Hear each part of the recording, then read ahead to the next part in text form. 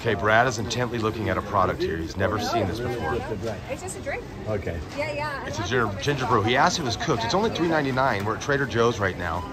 Yeah, yeah. And uh, there's the product. Ginger brew. Well, I like ginger, and you know what? Ginger's supposed to be really good for you. So we're going to try it. We're going to pop the top on it, and we're going to do some a little bit of a drink of it. And it's only four dollars. Yep, four dollars. So that's not too bad. This Brad Buckner, SharpensBest.com. You take care. We'll see you later. All right.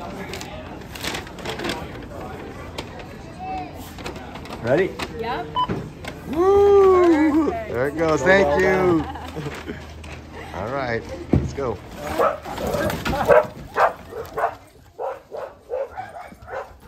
Do you have a dog?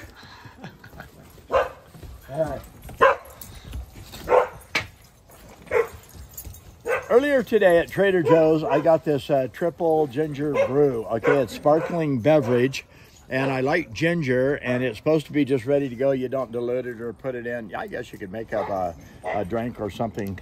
Uh oh. This is going to be embarrassing. My my pocket knife is in my car right now, and I'll bet. Well, it'll break your fingernail. All right, so let's see. I'm gonna have to go in the house and get a knife because I don't think they want you to be able to.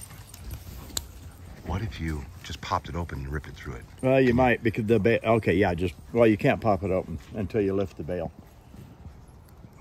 Rip it. Just rip the bail up. Oh, well, okay, I guess. Oh! Where did it go? Oh, it's over there. I was gonna say, I think it went. All right. Well, it is definitely ginger. Well, I probably should have shook it up because it's actually got parts and pieces in it. It's actually got ginger in the bottom. Fred Astaire, uh, I think, will be back later, but for right now, ginger. And that would be Ginger Rogers. So it's bubbly, it's fizzy. It's actually good, but it's it's it's tasty. Not as uh, potent as I thought it would be. Like ginger's hot, but you know what? If you drank much of that, you'd get a ginger. Uh, mm-hmm. It's also room temperature right now. Yeah, it is.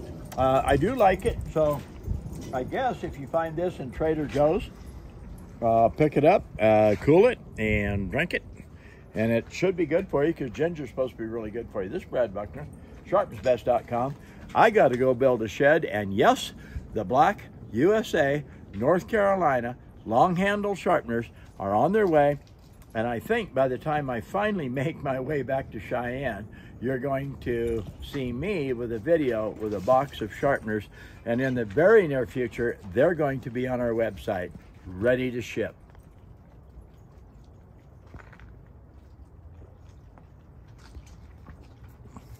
It's actually pretty good.